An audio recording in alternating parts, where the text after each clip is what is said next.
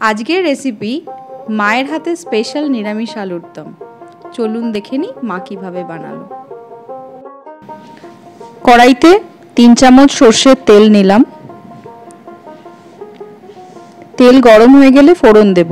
প্রথমে দিলাম গোটা জিরে ফোড়ন, তার মধ্যে গোটা তেজপাতা আর গোটা শুকনো লঙ্কা। ফোড়নটা অল্প খুঁড়িয়ে নিলাম।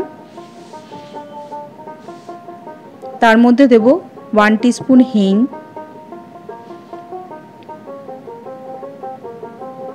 ফোড়নটা খড়িয়ে নিলাম। এর মধ্যে দেব দুটো বড় টমেটো বাটা।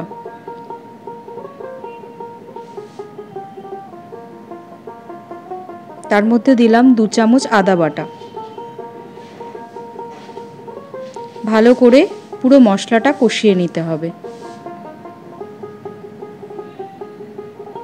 এর মধ্যে দিলাম এক চামচ হলুদ গুঁড়ো, দু চামচ জিরে গুঁড়ো,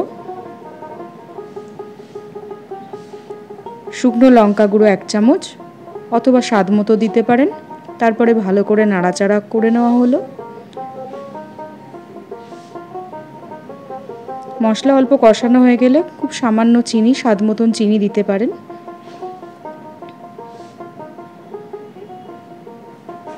একটু নাড়াচাড়া করে নিলাম। তার মধ্যে সেদ্ধ আলুগুলি দিয়ে দিলাম। সেদ্ধ আলুগুলি দেওয়ার পর মশলার সাথে ভালো করে আলুগুলোকে মাখিয়ে নিতে হবে।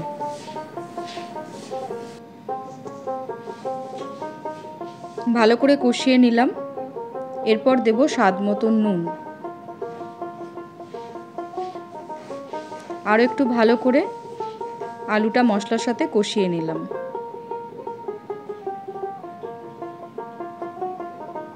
এরপর এর মধ্যে দু কাপ মতন জল দেব।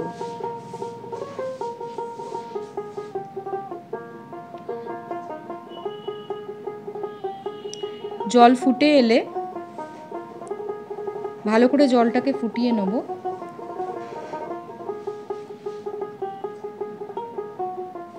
জল ফুটে এলে এর মধ্যে দেব ধনে পাতা কুচি।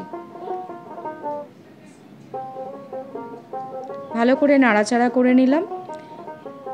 এবারে পুরো জিনিসটি ভালো করে ফুটে গেলে নাড়াচাড়া করে নাবিয়ে নেব।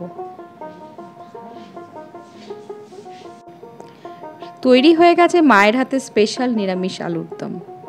আপনারা অবশ্যই বাড়িতে ট্রাই করুন, করে আমাদের জানান কীরকম লাগল। আরও নতুন নতুন রেসিপি পেতে আমাদের চ্যানেলটি সাবস্ক্রাইব করুন। আর এই ভিডিওটি পছন্দ হলে অবশ্যই লাইক শেয়ার এবং কমেন্ট করুন। আপনারা ভালো থাকবেন ধন্যবাদ।